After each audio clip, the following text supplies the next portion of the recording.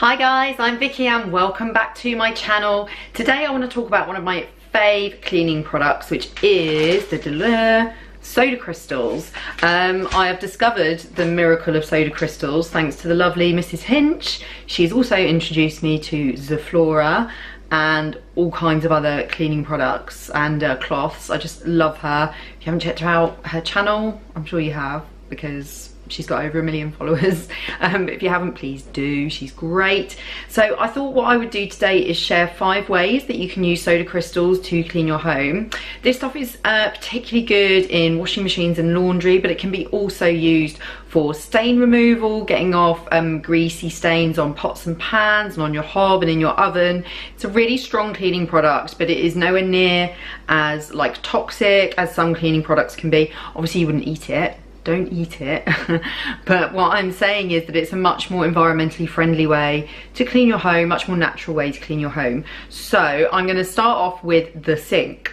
This is like the easiest way in my opinion to use um, soda crystals to clean your home. It's literally bung soda crystals down plug hole and put some boiling water um, after it just to rinse it through. Now this is a really good idea to do once a week. I don't know about you but even though I have a like catcher um, in our sink plug hole, little bits of food still get down there, grease certainly goes down there quite a bit and um, bad smells can build up, the water can start um, running a bit slower and that, that's just kind of annoying. So it's a good idea to do this once a week, put some soda crystals down there followed by some boiling water. I'm just going to show you how. Okay guys, so we have our sink, take the plug out, and I'm just going to pour nice generous amount down here. Okay, and what you need to do is chase it with some boiling water from your kettle. Boiling water is literally just boiled. Rinse that down there, and that is going to get rid of nasty build-up of smells, nasty build-up of smells. It helps to keep lime scale at bay. Just really, really good for your plug hole, freshening that up. So the next area where soda crystals can really, really help you is the laundry and your washing machine. So for a start, you can use soda crystals to wash your washing machine about once a month. So we're in a really hard water area, so the soda crystals are use, really, really useful for getting rid of gunk and also keeping that lime scale at bay, helps to prevent rust as well. So general all round goodness there. You need to put about 300 grams into your washing machine, which is roughly what I've got left in this bag. I'm going to put it directly in the drum. No messing about. Directly in the drum. And then I'm just going to put it on a super duper hot wash so 60 degrees. There we go.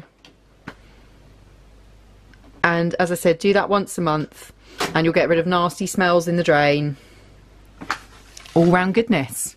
You can also add soda crystals to your everyday laundry to just like a get rid of stains it's really good at stain removal and b just to keep up that maintenance of your washing machine. It's really really good for your washing machine to keep the lime scale at bay. So all you need to use is about 50 grams put it in the main drum and that's it. Just forget about it. Really easy. Um, I've just put my washing machine on otherwise I would show you but I'm now washing my washing machine so it's not available. Um, can't use it in dishwashers so that's not what it's good for. But you can use it on things like burnt stains on your oven and on pots and pans. So I'm just going to show you how you do that. Basically you just create a bit of a strong paste with the crystals using some hot water and then put that on the greasy stains or the burnt on marks that you want to get rid of leave it for a bit you can leave it overnight if it's particularly tough and then you just wipe it off let me show you Okay guys, so what we have here is what I would call a very, very, very unhappy pan. um, bit of a mess. I can't remember what we've cooked on here. I think it's something to do with cheese, something to do with mini pizzas. And there may have been some bacon cooked in here too. But basically it needs to be sorted. So let me show you what I'm going to do. So soda crystals, when it comes to soda crystals, there's all sorts of different brands that do actually make them. Uh, Tesco does their own. This pack, which is a kilogram, was a pound from Tesco. So they're not even very expensive. Here we go. I'm going to be quite generous because this is quite bad. Go. And then I'm just going to pop some boiling water on there. There we go. can see it's loosening it already. I am just going to leave it for a little bit. Give that a bit of a rub.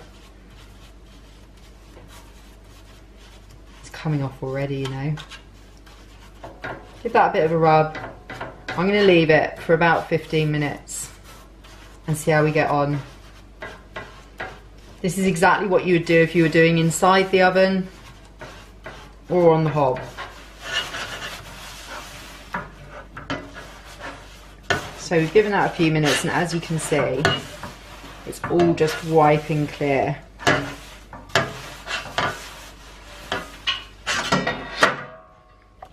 We move over to my friend Mr. Sink. Gosh, what you want about Vicky? Just ignore me, guys. Just ignore me. My friend Mr. Sink. Right, there we go. Look at the gunk. Ugh. Gross. I'm gonna have to wash this cloth. I just, this is a um, Spontex cloth, and what's great about these is you just put them in the washing machine. When they get dirty, you don't throw them away. Give them a new lease of life. Which I much prefer to buying bags and bags of washcloths.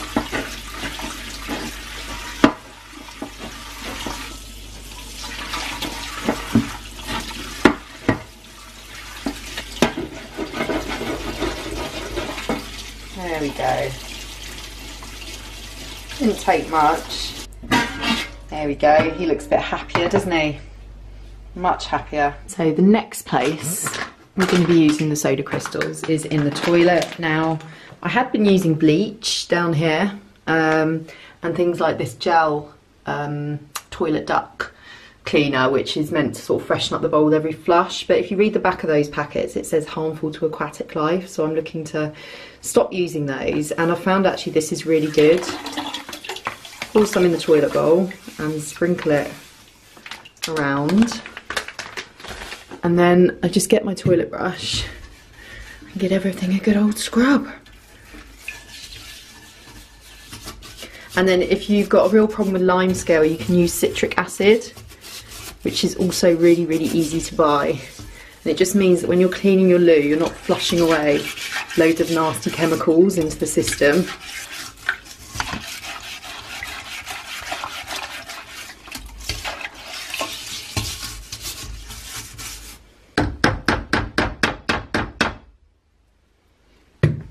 Can also use um, white vinegar down your toilet.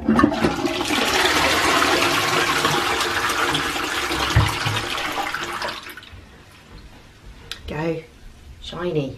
And back to the laundry front, stain removal. So this is muslin that I use as a changing mat to cover for my little one, as you can see. It's got a little bit stained, so I'm just going to do a pre-wash soak to try and get rid of those marks on there, because this is a lovely muslin that I've used a lot over the years, and I know that it washes well, given half a chance. So I'm going to get some warm water and some soda crystals and just give it a soak. Easy.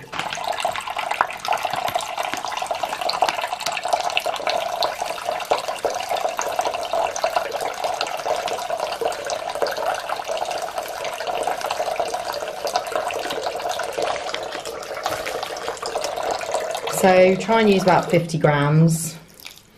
You don't have to be precise. And I'm going to leave that for about 30 minutes and then just wash it as normal. Okay guys, so those are my five ways with soda crystals. I really hope you got some good ideas from that. And if you haven't already used soda crystals around your home, then maybe you'll go out and buy a pack. It's so cheap, such a cheap, cheap way of cleaning your house, but really, really effective. And as I said, it's great to know that it is nowhere near as damaging to the environment as some of the really toxic hardcore cleaners can be. So thank you so much for watching. If you enjoyed this video, please don't forget to hit like and support my channel by subscribing for future videos. Thank you for watching. Bye.